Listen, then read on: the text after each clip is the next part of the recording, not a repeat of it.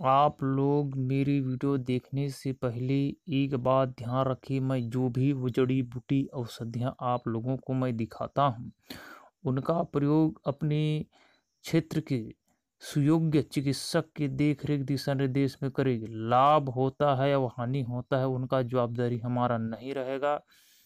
और हमारे YouTube channel को वही लोग देखें जो आयुर्वेद प्रेमी है, जो आयुर्वेद पर विश्वास करते हैं।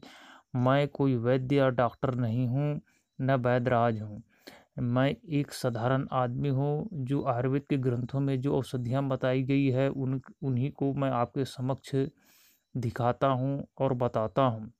आप इनका प्रयोग किसी योग्य वैद्य की दिशा निर्देश में करें। लाभ आने की जवाबदारी आप स्वयं रहेंगे और कई लोग मोबाइल नंबर आप लोग मांगते हो तो कृपया करके मैं हाथ जोड़कर विनती करता हूँ कि मैं आप लोगों को किसी भी स्थिति मोबाइल नंबर नहीं दे सकता, क्योंकि मैं एक किसान हूँ और मुझे बहुत सारा काम घर में करना पड़ता है, इसलिए मोबाइल के पीछे में रहते कुछ समय निकाल कर आपके लिए वीडियो बना लेता हूँ।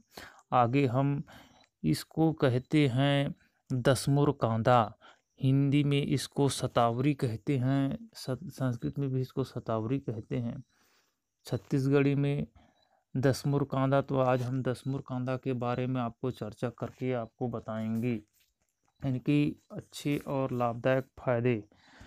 अगर जिस किसी को सर्फ ने काट लिया हो, विष हो गया हो, इसका जड़ को दूध के साथ पिलाने से सर्फ का विष ख़त्म हो जाता है। हम एक पशुओं के लिए एक और वनौषधि दुर्लभ बताते हैं, इसको ध्यान में सुनिए। जो भैंस है, गाय है, बकरियाँ हैं, उनके लिए, चाहे माता बहनों के लिए हो इसके दसमुर कंद को उखाड़ करके हर रोज़ इसको सुबह शाम अगर हमारी माता बहनें या गाय बैल को एक किलो की मात्रा खिलाते हो, माता, जो स्त्री हैं, उसको कम मात्रा में खिलाते हो तो स्तनों में इतनी मात्रा में दूध भर जाता है कि जो गाय और भैंस है, उनमें प्रचुर मात्रा से दूध आना शाम तक के चालू हो जाता है। यह पूर्ण रूप से आजमाई गई प्रयोग है।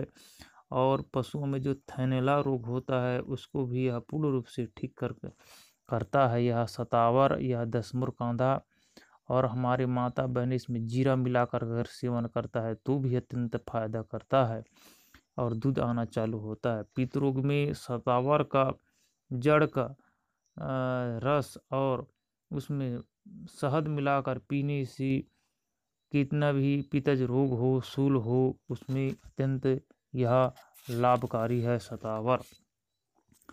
और पितज प्रदाह रोग में, गर्मी के प्रदर रोग में, रक्त प्रदर में इसकी रस एक चम्मच शहद मिलाकर पीने से अत्यंत लाभकारी होता है। तो हमने इस सतावर में और सफ़ेद फूल लगते हैं और हरे बीज होते हैं, फल लगते हैं, उस पकने पर लाल और उसमें काले काले बीज होते हैं। कपाल फोड़ी के बीज के समान उसको दिखाई जाता है। तो इस सतावर को आप देख रहे हैं और मेरे पास कोई कैमरा पकड़ने वाला नहीं था, इस कारण से मैं ऐसे ही शूट करके आपको दिखा रहा हूँ, अपना चेहरा नहीं दिखा पा रहा हूँ। तो मैं इसके लिए भाइयों क्षमा चाहता हूँ और इन औषधियों का प्रयोग किसी डॉक्टर के दिशा निर्देश, चिकित्सक के निर्देश में करें, तभी आपको सफल मिलेगा। हरिओम।